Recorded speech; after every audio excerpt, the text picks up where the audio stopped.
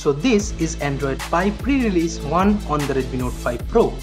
Hey what's happening guys, this is Tito and you are watching KTN Tech and let me just do the full review of this Pie GSI image. And if you wanna know how to flash Android Pie on your Redmi Note 5 Pro, here's a card in the I button. So without further ado, let me make it happen.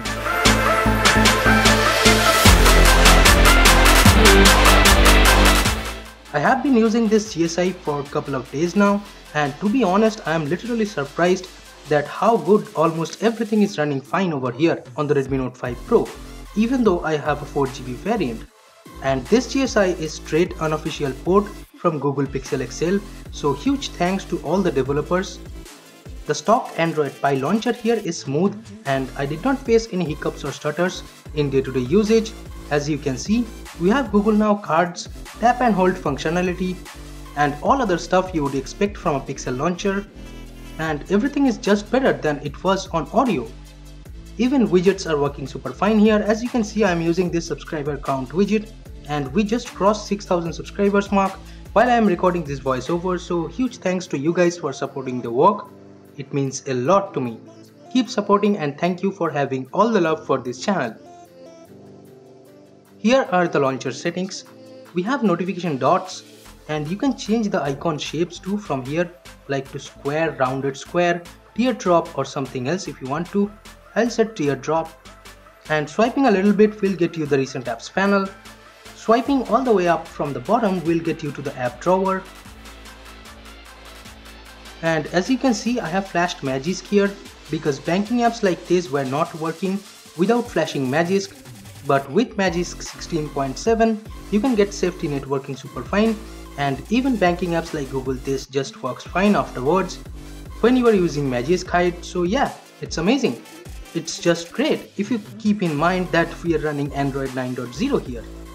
And I just love how quickly each and every apps open up in Android Pie well let's talk camera now. If you're wondering about portrait mode and stuff, well, you my friend are gonna be disappointed in the Pie GSI as of now because I have been using the open camera for normal pictures or videos which are working fine. Here is an example, but I tried to install multiple camera ports and mods such as the Mi A2 camera port for Android Pie which is for Mi A1 specifically I guess. I mean it's working on Mi A1 I guess It's a Magisk module so yeah I flashed it. It was mostly for stopping and it says can't connect to camera most of the time as you can see. The normal camera mode froze as you can see the screen isn't even moving. So let me try to take a picture in portrait mode quickly and this is how it looks like. And even I tried taking a video sample and this is how the video sample looks like.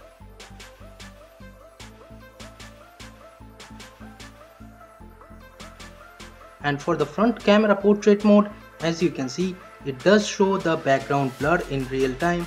But as you can see as soon as you hit the capture button it simply force stops the camera and says can't connect to camera. So yeah Mi A2 camera port isn't simply usable. The next one the Mi A2 stock camera port this is not for Android P. So I just tried to install it with the Magisk module. It did not even open up for once force closes every time. The next thing I tried is the MGC camera mod which is the Google camera port. Yeah it does work for taking normal pictures but as soon as you hit the settings button it will end up in black screen and to get it back working again you have to clear the data and restart the app again by force stopping it. But if you don't touch the settings it will keep working fine as long as you take normal pictures. But as you can't get into the settings here so no portrait mode from here too. So the camera is not able to work at its full potential at least for now in Android Pie. And it's the only con in Android Pie on the Redmi Note 5 Pro in my frank opinion as of today. Now let's talk some nifty little things here.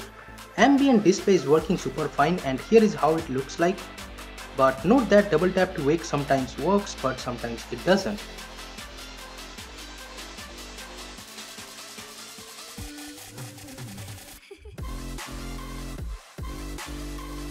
and whole notification animations like the heads up looks awesome over here. The way it appears and the way it disappears feels super sleek to look at and it's literally awesome. And while calling someone if you press the home button, it will show up a chat head like this as you see for Facebook Messenger and if you tap on the bubble head or the chat head or whatever, it will give you the options to mute, to go back to the in-call UI, turn on speakerphone and to end the call. And yeah, Jio VoLTE calling is working super fine too over here so you don't have to worry. And you can just end the call like this. And let me show you the text cursor thing while typing in case you missed in my previous video. This is how the incoming call heads up looks like. Pretty cool stuff and colorful as well. But let me just pick up the call and come back again. So while writing something anywhere on Android Pie, if you just swipe on the cursor, it will show you this kind of magnified look over here on the top of the text, which is pretty convenient in my frank opinion. And it works in all of the apps where you can type. Here is the fingerprint scanner speed just in case if you wanted to see that works amazingly fast I have to say. The quick toggles over here as you can see are fresh of Android Pie and the circular look gives it like a much fresh look when compared to the Android Lollipop, Marshmallow, Oreo or whatever. One more good thing here is that the Wi-Fi hotspot does show up as even 5 GHz too, which is really awesome and here while the auto rotate is off in Android Pie, it literally is not a problem because you don't have to pull the quick toggles again then turn on the auto rotate option. Here no matter which app you are using, whenever you turn the phone sideways, it will show you some rotation reminder like this on the navigation panel and tapping on it means you want the screen to be rotated for this particular app. And it works flawlessly even when the auto rotate is actually off. And you rotate the screen again it will show up again. Pretty cool stuff. And here is the new recent apps panel again. Looks pretty sweet as you can see. And you can just quickly switch between apps which is really convenient with this gesture and fast enough. But it takes a little bit of time to get used to. So keep that in mind once you switch to Android P it's gonna take you a little while. Nightlight is working fine so if you're someone who stays up at late night it's definitely gonna help you.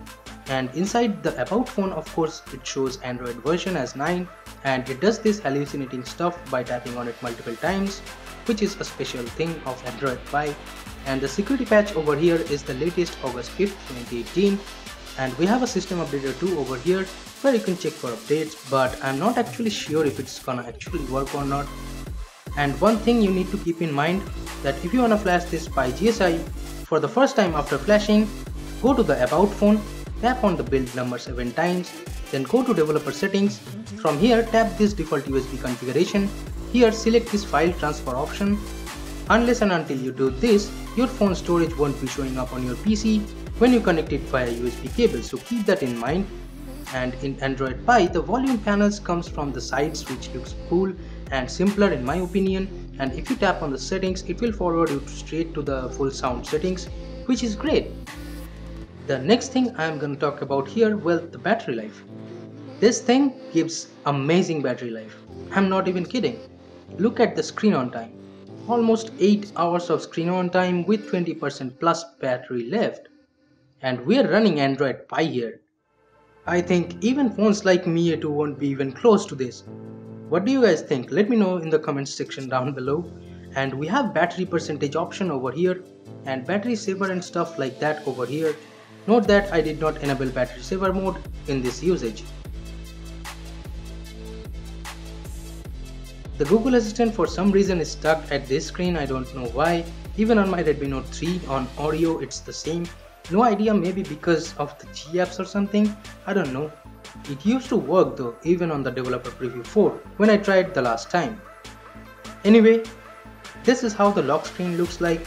We have the lock screen clock the date with month and a small ambient weather logo with the temperature and below that we have the notifications and the fingerprint icon to the bottom and once you unlock the screen the wallpaper does a sweet animation and it changes the colors with time of the day depending on the weather. Pretty sweet. And in Treble Checker app it shows the device is compatible for Project Treble and it does support seamless software updates which is just awesome. And now let me open a few apps and show you the app open up speeds. And yeah I gotta say the app open up speeds are super fast even on third party apps like even Instagram or Facebook opens almost instantly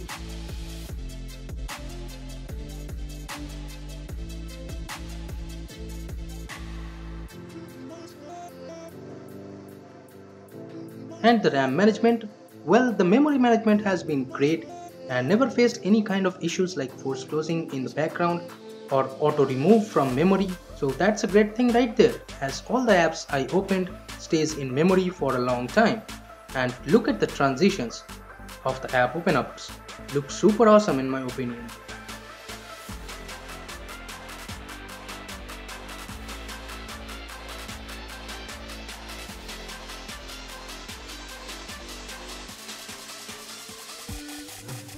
And if you are wondering about the gameplay, well yeah, I did play PUBG and it ran quite fine in HD high frame rate settings. Here is the gameplay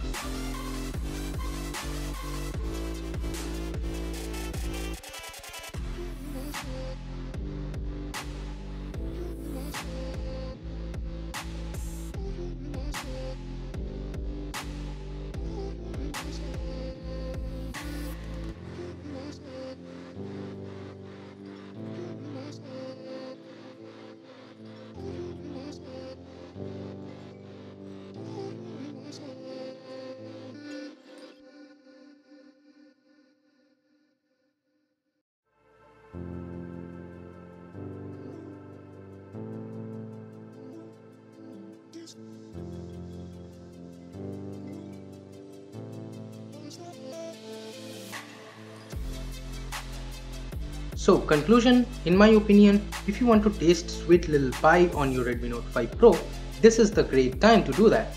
Because in my testing, I did not face any issues except for the camera doesn't work at its best. Yes, you can take normal pictures, yes, you can take normal videos, but no portrait mode here. So in my opinion, this has been great experience considering it's so early that even Google released it in pre-release build for Pixel devices, not even stable. And we are getting almost everything like fingerprint scanner, VoLTE, Wi-Fi, data, hotspot and almost all other latest and greatest Android Pie features is running super fine on our 15,000 rupee phone which is just insane. This is why I love to flash stuff. This is why I'll continue doing it.